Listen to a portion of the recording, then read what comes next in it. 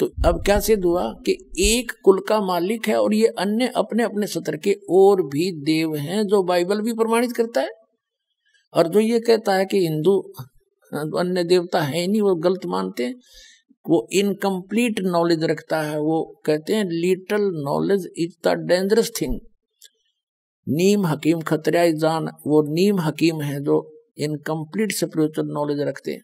अब पुण्यात्माओं अब इस दास के प्रयत्न को ये ना समझना कि दास किसी की आलोचना करना चाहता है, या किसी को हीन करना चाहता है, या किसी के नबी, पैगंबर, देवता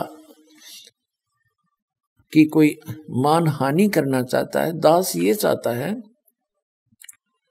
कि हज़रत मोहम्मद एक नंबर के पुण्यात्मा थे। और ये फंस गए इस काल ब्रह्म के। इस काल ब्रह्म ने डरा धमका के इसको जो साधना बताई, पाँच वक्त की नमाज़, अजान जो परमात्मा को पुकारने का बंग बोलते हैं। पाँच वक्त की नमाज़ और रोज़े। ये तीन साधनाएँ बताई और इनको डट कर करा करते थे वो। हज़रत मोहम्मद जी जैसा ईमान अल्लाह पर कोई नहीं ला सकता। मुसलमान भाई, जितना ईमान उन्होंने, उस कुरान शरीफ के ज्ञान दाता को कंप्लीट गॉड मान के उन्होंने उसको, उसके ऊपर ईमान लाया। और उन जैसी भक्ति भी कोई नहीं कर सकता।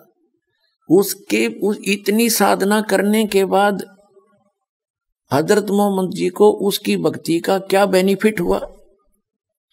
एक तरफ़ तो कुरान शरीफ में कहा है कि वो अल्लाह ताला, अल्लाह अकबर बड़ा मेहरबान है, बड़ा दयालु है, रहमत करता है, पापों को नाश करता है। वो बिल्कुल सही बोला है। वो तो सही है, वो तो ऐसा ही है। लेकिन हज़रत मोहम्मद जी को उनकी रहमत नहीं मिली। उनका लाभ नहीं मिला। उसका कारण क्या रहा कि उस अल्लाह अकबर की way of worship method of worship, पूजा का मार्ग, पूजा की विधि नहीं है। सूरत फुरकानी 25 आयत नंबर बावन से उनसठ में स्पष्ट कर दिया कुरान शरीफ के ज्ञानदाता ने कि वो अल्लाह अकबर तो वो है जिसने छह दिन में सृष्टि रची, सातवें दिन तख्त पर जा बैठे वो है क्रिएटर और उसकी खबर कुरान शरीफ का ज्ञान दाता नहीं जानता, वो कुरान शरीफ में नहीं है, जो ज्ञान उसने बताया हज़रत मोहम्मद को जबरी देवता के माध्यम से। उसने अपने सत्र की विधि बताई है कि मेरे सत्र की ये साधना है और इसकी साधना से पाप नाश नहीं हो सकते, जो कर्म में वही मिलेगा आपको। उसमें कोई परिवर्तन नहीं हो सकता। और यही गीता ज्ञानदाता आठवें अध्याय के तेरहवें श्लोक में कहता है कि मेरा जो मंत्र है, ओम इति एकाक्षरम। ब्रह्म व्यवहारण माम अनुसमरण। ये प्रयाति तजन देहम सयाति परमाम गतिम। कि मेरे सतर का, मेरी पूजा का केवल एक ओम अक्षर है नथिंग एल्स इसका अंतिम सांस तक जो भक्ति करता हुआ शरीर छोड़कर जाएगा वो ब्रह्म से मिलने वाली परम गति प्राप्त होगी। और ब्रह्म से मिलने वाली परम गति कौन सी है? ब्रह्मलोक।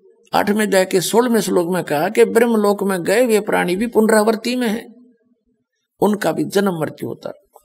फिर गीता ज्ञानदाता ने आठवें अध्याय के पाँच और सात में तो अपने विषय की साधना बताइए कि मेरी भक्ति करेगा, मुझे ही प्राप्त होगा, ब्रह्मलोक में आ जाएगा, लेकिन जन्म मृत्यु तेरी भी रहेगी, मेरी भी रहेगी। मोक्ष नहीं हो सकता, और जैसा कर्म करेगा, वैसा फल भी मिलता रहेगा। लेकिन आठवें अध्याय के प्रथम मंत्र में अर्जुन ने पूछा कि किम तत्ब्रह्म उसका उत्तर दिया आठवें अध्याय के तीसरे श्लोक में, गीता में, कि वो परम अक्षर ब्रह्म है। तो आठवें अध्याय के पाँच से सात तक तो अपनी विधि बताता, गीता ज्ञान दाता। और उसके विषय में इसने बता दिया, जन्म मृत्यु तेरी भी रहेगी, मेरी भी रहेगी, यहाँ शांति हो नहीं सकती, युद्ध तो करना ही पड़ेगा। और युद्ध करना तो वहाँ शांति कहा? इसलिए अठारह अठारहवें अध्याय के छसठवें श्लोक में कहा कि तू सर्वभाव से उस परमेश्वर की शरण में जा। उसकी कृपा से तू परम शांति को और सनातन परम धाम को प्राप्त होगा। बेरी शरण में रहेगा तो शांति नहीं हो सकती। या तो आपने दुख है भाग में तो दुख भी भोगने पड़ेंगे और सुख है तो तेरे भाग का सुख भी मिलेगा। उसके लिए ऑप्शन छोड़ दिया है कि तत्वदर्शी संतों को पूछ, मैं नहीं जानता उसकी भक्ति विधि। सत्र में जाए के तेईसवें श्लोक में गीता ज्ञानदाता ने उस परम अक्षर ब्रह्म सचिदानंद घन ब्रह्म ब्रह्म ने माने सचिदानंद घन ब्रह्म की भक्ति का संकेत किया है कि उसके तीन मंत्र का जाप है। ओम तो सार्वजनिक कर दिया, वो तो उसका है ही। और तत् और सत वो सांकेतिक छोड़ दिए। उसको तत्वदर्शी संत बताएगा। तो वो दोनों कोड वर्ड जो है, वो दास के पास है, वो कंप्लीट कोर्स है। तो उसकी भक्ति आठ में जाए के आठ, नौ, दस श्लोक में बताया कि सचिदानंद गण ब्रह्म की भक्ति करेगा तो उसको प्राप्त होगा। आठ में जाके पाँच और सात में कहा कि मेरी भक्ति करेगा तो मुझे प्राप्त होगा। ब्रह्म की साधना करने वाला ब्रह्म लोक में जाएगा। गीता अध्याय नंबर आठ के श्लोक नंबर सोलह में स्पष्ट कर दिया है कि ब्रह्म लोक पर्यंत सभी पुनरावर्ती के अंदर है। तो उसने स्पष्ट कर दिया है कि उस पूर्ण परमात्मा की साधना से मैं परिचित नहीं हूँ और मेरी भक्ति करेगा तो ऐसे ही कष्ट भी होंगे। तेरे भाग में सुख है तो सुख भी होगा। तो ये दोनों मिलते रहेंगे। और परम शांति चाहिए तो तुझे सब पापों का नाश चाहिए तो परम अक्षर ब्रह्म की शरण में चला जा उसके लिए तत्वदर्शी संत की खोज कर ले।